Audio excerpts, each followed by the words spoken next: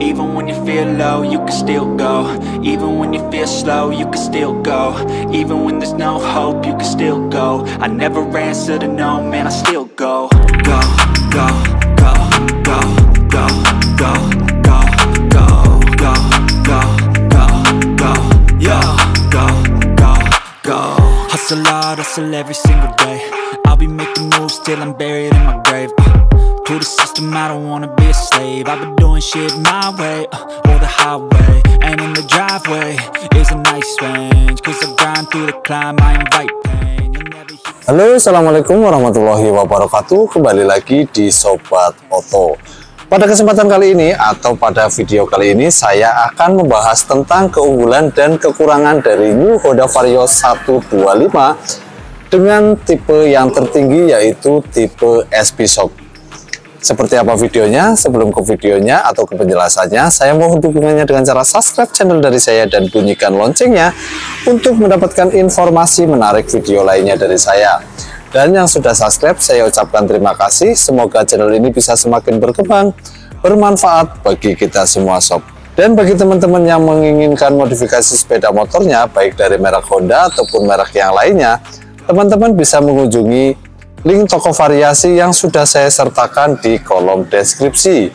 Dan bagi teman-teman yang menginginkan membeli sepeda motor Honda terbaru, khususnya untuk daerah Ketanggungan Brebes dan sekitarnya, teman-teman bisa menghubungi kami dengan cara meninggalkan pesan lewat kolom komentar.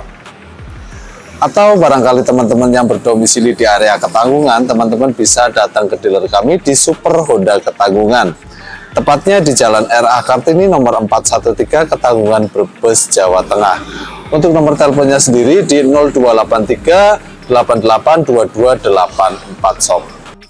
New Honda Vario 125 yang di depan saya ini merupakan tipe yang tertinggi ya, yaitu tipe SP. Di mana untuk dari warnanya ini sudah sangat komplit sob yaitu warna biru dan warna putih. Untuk perpaduan warnanya juga sangat menarik sekali ya. Untuk dari yang warna biru menggunakan perpaduan warna biru doff dengan warna hitam doff. Sedangkan untuk yang warna putih juga sama sob. Menggunakan warna putih doff dengan perpaduan warna hitam doff juga sob. Nah, tanpa berlama-lama kita langsung saja bahas untuk dari keunggulan yang pertama. Keunggulan yang pertama dari New Honda Vario 125 tipe SP, kenapa ini layak dibeli atau layak dimiliki? yaitu dikarenakan harganya ya sob harganya itu jauh lebih murah jika kita bandingkan dengan New Honda Vario 160 dengan yang tipe CPS untuk kontennya sendiri New Honda Vario 125 dengan tipe SP dibanderol dengan harga Rp25.570.000. Harga ini tentunya lebih murah dibandingkan dengan New Honda Vario 160 dengan tipe CPS yang dibanderol dengan harga Rp27 Rp250.000. OTR ini tentunya berlaku untuk daerah Ketanggungan, Brebes, Tegal, Pekalongan, Semarang, Pati, dan Solo Sob. Nah, itu tadi keunggulan yang pertama yaitu di harganya.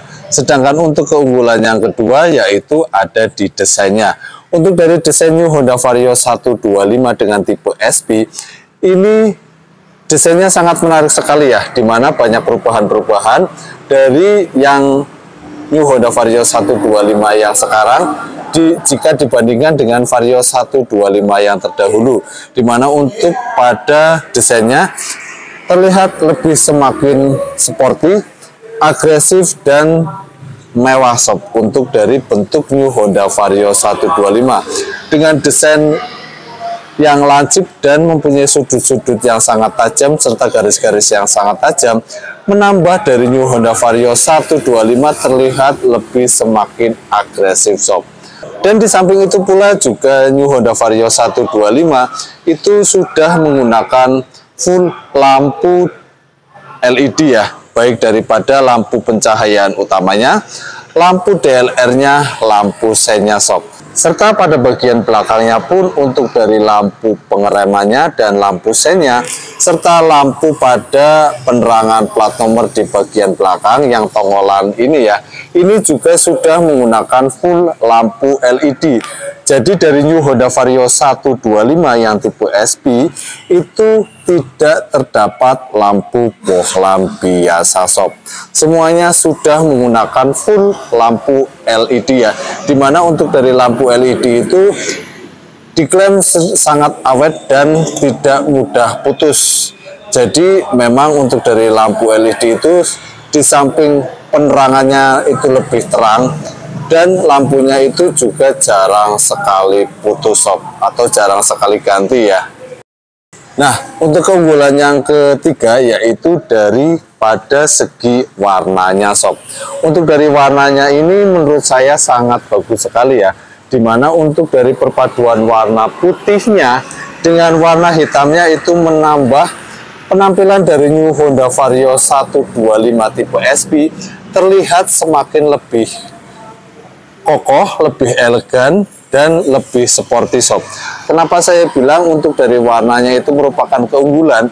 Karena pada bagian tampak depannya itu semuanya terdapat uh, bodi halus ya, tidak terdapat bodi kasar untuk pada bagian depannya sob ya. Baik daripada cover setangnya sampai kepada area bawah atau area fender itu semuanya menggunakan full plastik halus sob. Dan untuk dari warnanya ini pun menurut saya perpaduan yang sangat mewah sob. Untuk dari warna putihnya ini kalau kita lihat ini tidak semata-mata warna putihnya itu full warna putih ya namun di sini terdapat beberapa layer dari warna putihnya sob kalau kita lihat secara kasat mata itu ada terdapat sedikit sentuhan silvernya ada sedikit sentuhan emasnya ya jadi e, memang untuk yang warna putih ini menurut saya warnanya itu mewah. Ya. Namun bila mana ini tergores atau ingin mengganti warnanya itu sangat susah dipadukan sob untuk dari warnanya karena posisinya memang warna putihnya ini terdapat beberapa layer sob kalau saya perhatikan seperti itu ya itu merupakan keunggulan yang ketiga yaitu tadi dari warnanya. Nah, terus keunggulan yang keempat itu dari segi pengeremannya sob. Keunggulan yang keempat yaitu terdapat pada di pengeremannya sob. Untuk dari pengeremannya New Honda Vario 125 tipe SP menggunakan pengereman CBS atau Combi Brake System ya. Terus pada bagian depan untuk daripada cakramnya sendiri itu menggunakan disc yang model wave di mana untuk disk model wave ini dengan harga yang 25 jutaan ya ini hanya ada di New Honda Vario 125 sob untuk dari New Honda Vario 160 juga belum terdapat disk model wave bahkan untuk dari yang uh, eh, PCX juga belum ada ya sob ya jadi ini saya uh, cantumkan di keunggulan karena posisinya New Honda Vario 125 dengan harga yang lebih murah tapi sudah menggunakan disk yang model wave shock. Terus yang ke berikutnya atau keunggulan yang kelima yaitu dari segi bannya sob. Untuk dari bannya ini lebih lebar ya jika kita bandingkan dengan Vario 125 yang terdahulunya. Untuk dari profil bannya sendiri pada bagian depan yaitu 90 per 80 dengan diameter ring 14 di mana ban ini sedikit lebih lebar untuk daripada tapaknya sendiri sob. Ini yang pada bagian depan. Nah untuk pada bagian belakangnya pun ini juga sudah sangat lebar sekali ya jika dibandingkan dengan Vario 125 dengan tipe terdahulunya. Untuk ban belakangnya itu profil bannya 100 per 80 dengan diameter ring 14 sob dan untuk daripada peleknya New Honda Vario 125 tipe SP juga ini berbeda ya menggunakan pelek dengan warna brown berbeda dengan yang tipe CPS atau yang CPS ISS yang versi tengah sob terus kita langsung lanjut kepada bagian keunggulan yang berikutnya yaitu keunggulan yang keenam sob untuk keunggulan yang keenam yaitu terdapat pada di sistem keamanannya sob. Untuk dari New Honda Vario 125 dengan harga 25 jutaan sudah menggunakan sistem keamanan keyless atau smart key system ya.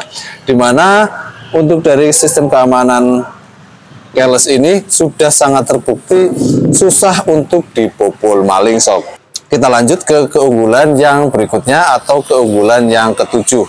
Untuk dari New Honda Vario 125 tipe SP itu sudah menggunakan power charger atau power outlet yang sudah menggunakan USB seperti ini sob ya ini merupakan power charger atau power outletnya itu sudah menggunakan USB jadi teman-teman tidak perlu menambahkan adaptor tambahan lagi. Langsung saja colokan kabel data teman-teman. Maka langsung bisa untuk ngecas ya. Namun untuk mengecas HP di dalam sepeda motor diusahakan mesin dalam keadaan hidup ya. Supaya akinya tidak tekor atau tidak ngedrop sob kita lanjut ke keunggulan yang berikutnya yaitu keunggulan yang ke-8. Kita lanjut ke keunggulan yang ke-8 sob.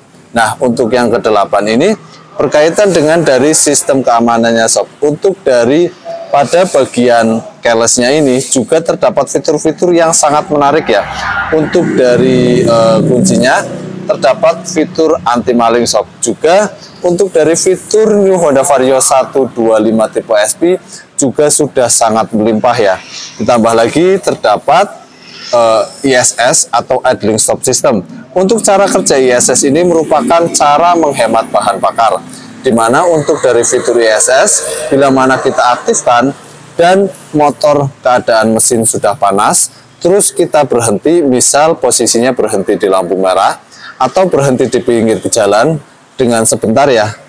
Kurang lebih antara 3 sampai 5 detik maka mesin akan mati dengan sendirinya. Namun untuk menjalankannya lagi teman-teman tidak perlu menekan tombol starter tinggal ditarik tuas gasnya saja maka motor sudah bisa jalan lagi sob.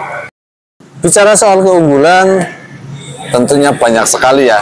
Untuk dari keunggulan New Honda Vario 125 yang tadi barusan saya bahas. Nah di sini juga saya akan bahas tentang kekurangannya. Nggak adil kalau saya bahas cuman kelebihannya saja. Nah di mana untuk dari kekurangannya ini New Honda Vario 125 hampir mendekati sempurna sob. Karena saya melihat untuk dari New Honda Vario 125 tipe SP saya perhatikan untuk kekurangannya itu sangat sedikit sekali ya. Di mana untuk kekurangan yang pertama yaitu ada di bagian sektor mesinnya sob. Nah untuk daripada uh, sektor mesinnya ini merupakan menurut saya kekurangan ya dikarenakan New Honda Vario 125 dengan tipe SP masih menggunakan mesin ESP belum menggunakan mesin ESP Plus yang terdapat pada New Honda Vario 160 sob. Nah, terus kekurangan yang ke berikutnya yaitu pada bagian pengereman di bagian belakang sob. Untuk daripada pengereman bagian belakang dengan harga 25 jutaan ya bahkan lebih masih menggunakan pengereman tromol biasa sob. Harusnya untuk dari harga yang 25 jutaan saya rasa pas sekali bila mana rem pada bagian belakang pun juga menggunakan pengereman cakram sob. Kekurangan yang berikutnya adalah di bagian warna ya. Nah di bagian warna tadi saya juga sebutkan keunggulan namun di sini juga saya sebutkan kekurangannya. Karena apa? New Honda Vario 125 dengan tipe yang tertinggi tidak terdapat warna glossy soft. Semuanya menggunakan warna doff jadi alangkah lebih baiknya bila mana New Honda Vario 125 yang tipe tertinggi juga disematkan dengan warna glossy-nya. Jadi uh, dari teman-teman yang suka warna glossy tentunya uh, bisa mendapatkan dengan tipe yang tertinggi ya bukan hanya di tipe yang CPS soft Oke, segitu saja informasi dari saya. Terima kasih yang sudah menonton video ini dari awal sampai akhir. Share jika memang informasi ini bermanfaat, like jika memang kalian suka, dislike jika memang kalian tidak suka. Sobat undur diri, sampai ketemu di video selanjutnya. Wassalamualaikum warahmatullahi wabarakatuh. Salam satu hati. See you, bye-bye.